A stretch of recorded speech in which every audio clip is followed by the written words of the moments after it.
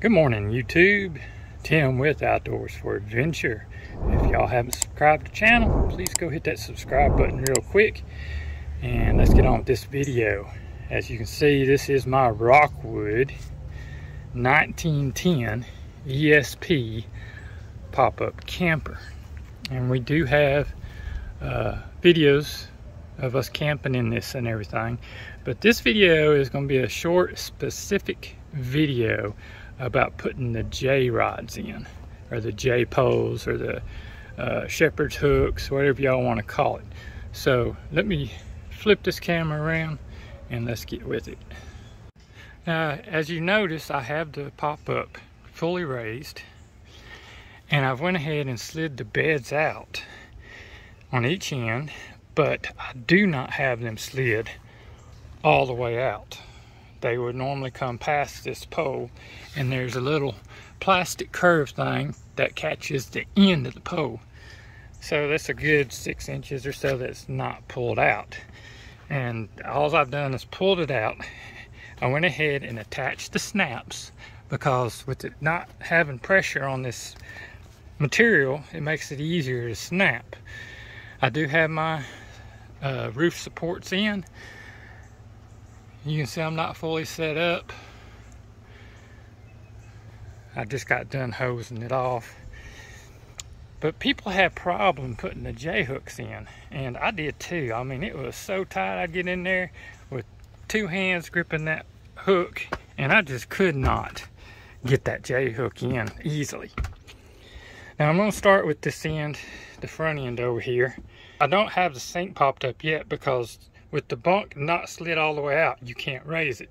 And that's fine because the only thing I'm wanting to do is have enough slack in this top that I can put that J-pole in. So I'm gonna set this camera up on a tripod so y'all can watch me do this. I have seen people in comments say that, oh, I'm full of it, that this is not the way to do it and it can't be done. It can, and I'll prove it to you. As you can see, the bunk is not pulled out all the way. It's about a hand width of uh, left. And I've already pulled the J-pole out from underneath the bunk. Now what I'm going to do is I'm going to take this end and go ahead and lift this rod here a little bit to where I can get it on the hook and then push that up just get a little bit snug. And then I can do this with one hand. That's it. It's that easy. If you want to take it down go ahead and push your bunk in just a little bit. It's that easy for both sides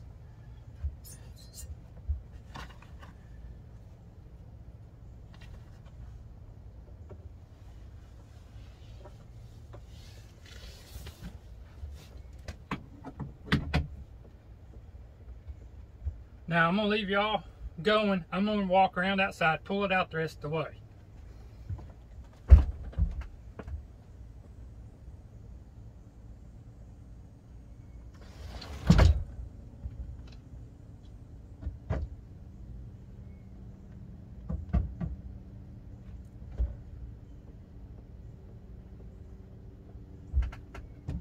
All right, the, the bunk is fully extended now.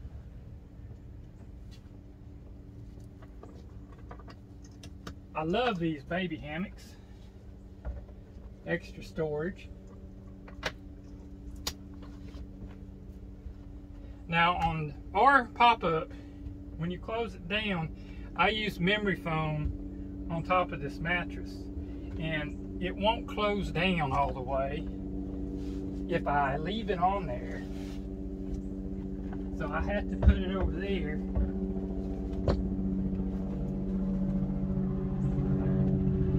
and then make the bed. But now that this is out, I can go ahead and pop my sink up. Get the curtain out of the way. And then, you know, I'll finish setting up. Normally, before I pull this bunk all the way out, after I put the J-pole in, I'll go ahead and set the door too. because without the bunks being fully extended, it, there's no pressure on the material. So when you put the door in, you can Velcro it up real nice and easy. Now normally this isn't a problem anyway, but while you're doing it, you just as well go ahead and set the door nice and easy, then pull both bunk ends out. You get a nice fit on your door, and the J-poles are so easy. Let me flip this around and catch the other side.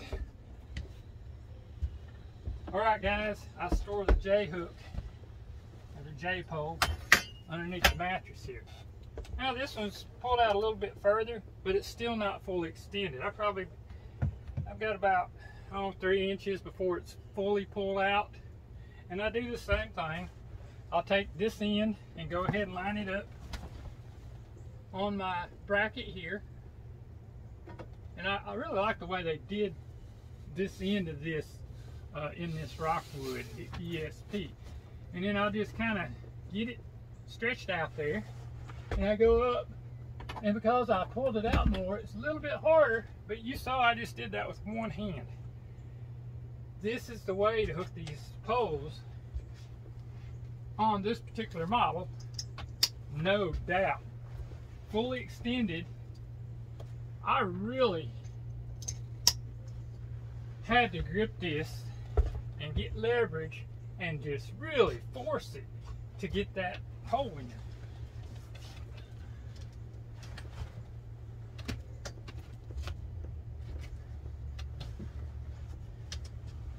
And now I'll go out there and I will finish pulling this bunk the rest of the way out. In fact, I probably just, I'll go check the poles in a minute. And, uh, you know, that's it. Easy peasy the same way, taking them down. Go ahead out there, push your bunk in a few inches, then come back in here and just take these out really easy. So that's what this video is about. Just putting these shepherd's hook in one-handed, very easy. Just don't pull them bunks out all the way. I promise you it works. I just showed you that it does work. So if you have any doubt, give it a try. Now, I'm not sure about all models. This is uh, 2022 uh, Rockwood 1910 ESP. But I would imagine most any pop-up, since they're all basically the same, if you're having problems getting your J-hooks in, give this a try, because it works.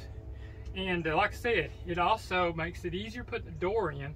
If you go ahead and set your door before pulling the bunks out, there's no, it's not stretching the canvas. So you can Velcro it up, just line your Velcro up where it's supposed to be, then go pull your bunk ends out and you're done. I hope this video helped y'all. If y'all haven't subscribed to the channel, we appreciate if you go hit that subscribe button real quick. Uh, there's a lot of information on our channel, not just about pop-ups, about camping, outdoor activities, sites we see, adventures we go on, but most of it is all centered around outdoor activities. And it is really getting hot here in Texas. I think we're going to get up to uh, 105 degrees today and the heat index. Yesterday I think we got up to 115 degree heat index and as you can see I'm just pouring in sweat right now but we're fixing to go on a camping trip really soon and I always pop the pop-up up make sure everything is in good shape uh, get everything packed the way I want it packed and other than the the front bed, I'll go ahead and make this bed. That way when we get to camp, I don't have to make it. But since I can't keep the memory foam on this bunk up here, I have to take it off and set it over here. We make that bed when we get to camp. But anything to make setting up camp easier is a plus for us. And uh, let me grab you off this tripod.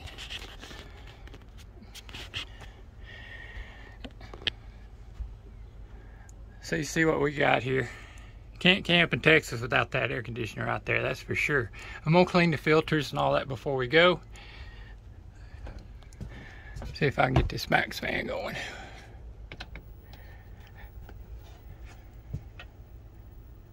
That max fan is one thing we have had problems with. If you turn it up high sometimes, I don't know if, what it's tripping, but it just shut off. And I gotta turn it back on. I try to make sure there's no lights on. But if I get up past two or three, see we're going.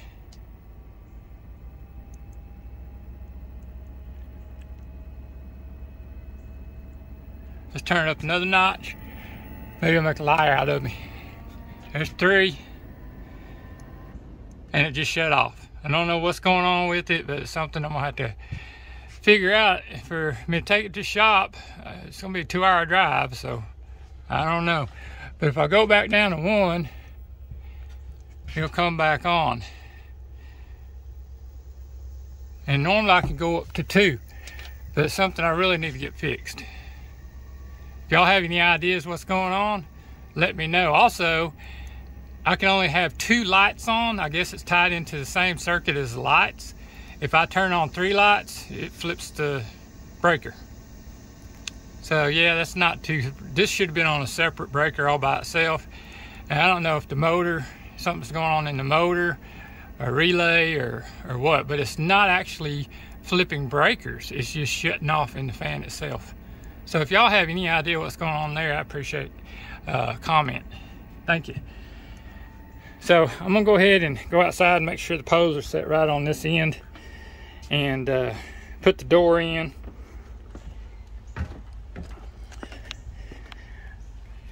But we're getting everything ready for our next trip. Now, I put these motion lights, I got them at Five Below for like five bucks a piece. And they've been working really good, but it's been so hot that the glue they used to put the solar panel on melts and these slid down.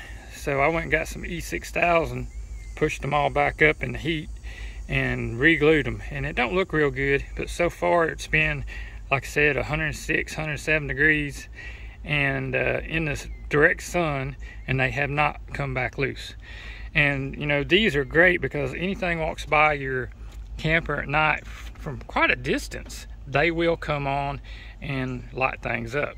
And if you're out doing some something uh, and you just wave your hand at them and they'll come on or you can turn them on to where they'll stay on. So pretty handy and I've got them all the way around the camper. I don't think I have any on the back but I do have two on this one on each corner basically. And that tape is just to keep wasp and stuff out of there while it's setting. There's another one there and then there's one up front. They work really good. Once I got that solar uh, panel glued on they work really good. Now this box here I put on there it has a USB ports uh, to power things but I have my undercarriage lights hooked into the switch that's in that box so it keeps it waterproof. And it, you know it's just my underground or undercarriage lights that I have. But anyway I'm gonna end this video. I'm starting to carry on. Just a few things about the camper that we've done and issues that we have. And I hope showing you how to do those J-posts help you out because it, it definitely works I remember the very first time I was putting one in this front bunk, I actually had my wife get up in there with me and push on my back because I just wasn't stout enough to get that sucker all the way in. And I started just looking at it, trying to figure out how I can make it easier. And I came up with this solution and it works. So y'all have a great uh, week. Hope y'all have plans coming for the weekend. And hopefully before long it's getting cool enough here that we can start enjoying camping more. But we do have a camping trip coming up. I already have everything booked. We're going to be going to uh, Lake Bistineau in Louisiana. So, looking forward to that. We will see y'all at another time.